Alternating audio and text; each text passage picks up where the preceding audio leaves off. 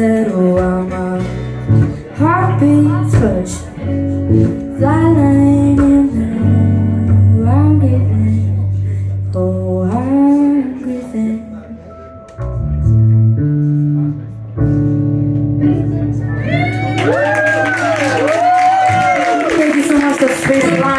It on every platform. And before I hand the stage over to one of my biggest inspirations growing up, Superflirt over there, um, we're gonna play one more song, and it's called Sugarcoat. It's really funky.